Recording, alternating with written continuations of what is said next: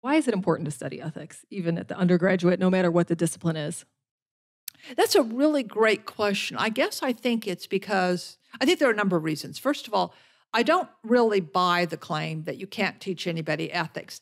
It's Yeah. it's of course true that people do have habits, um, and at a certain point, if someone's um, uh, you know a confirmed serial killer, the person is less likely to be Right. interested in ethics. But um, most people are still teachable, I think, and I also think that these kinds of books, like I learned everything I needed to know about ethics when I was in kindergarten, are really kind of silly Yeah. because you don't really understand what sexual harassment is, Yeah. what it means, how it arises. You don't know what a conflict of interest is. Trust me, even business people Right, don't right. know what a conflict of interest is. So it's important just to get some um, conceptual apparatus and clarification on terms so that one can think clearly about what something is. That's one reason you study ethics.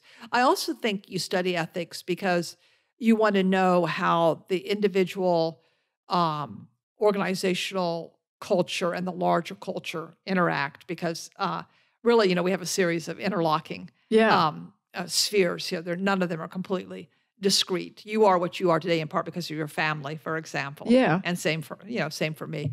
Um, so I think one thing a good business ethics class can do is begin to get people thinking about the interrelation of those things. And that's important because I always tell my students think long and hard about where you're going to work because you're going to spend a lot of your working life Yeah, in, absolutely. you know, in your your awake hours in the corporation. More like two thirds. two thirds right more of your time there than you're going to spend with your you know loved ones Yeah. probably and so you need to think about what kind of helpful or toxic environments you're getting into and i'm i'm somewhat heartened that a lot of um uh, uh, Gen X um, and millennials are apparently more willing to ask questions during the interview Sure. process about the culture. And you can see even now people speaking up at Google and at Amazon and so forth about the company's policies. And um, I'm, I'm somewhat heartened by that. Yeah, that's good. So I was that was going to be my next question is how can people kind of ferret out what the environment is beforehand?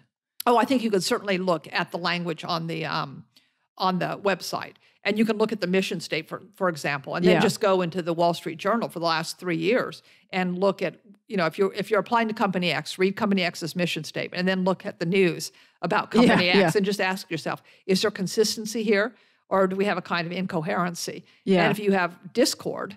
Then I think that tells you something. It tells you probably that the mission statement is not controlling, that there are other kinds of informal norms, such as do what it takes to hit the numbers or something like that, that are at work Yeah, here. yeah. I think you can talk to um, adults if you have a um, college alumni um, office, and if they have a list of who works at a company that you're thinking about applying to.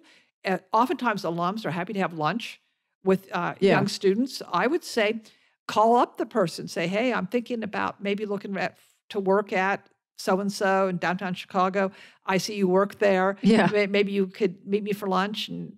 I always leverage insight. the DePaul connection. Connect- it's right. like a fellow Prius driver. Like, hey, I went to DePaul, and yeah, yeah, and people are usually more than willing to help. I think that's actually a really good tip. Yeah. So, and Yeah. that's a way to get an insider's point of view. I would see read um uh like the Reviews, reviews, on yeah. Glass what is it Glass Glassdoor, Glass, yeah. Glassdoor and so forth and uh, you know you have to be aware that there's a negative bias usually yeah, on Yelp there's these somebody sites who's but- left and they're angry. yeah, but- angry but oftentimes I think you get something that sounds rather balanced Yeah. there so you can you can certainly do that. And then I think also just be alert um for um cultural codes even when you're interviewing there. Yeah. you know how do people dress? How are, do people interact? Or is everybody locked away in an office? Um, Yeah. you know if the hr people interview you you could ask them. They may not tell you but you could always ask you know what does the hr company think the largest ethical challenges are at the firm and they're probably not going to say oh Yeah. karen or daryl did x y and z but you might get you know some data points that you could use in making a decision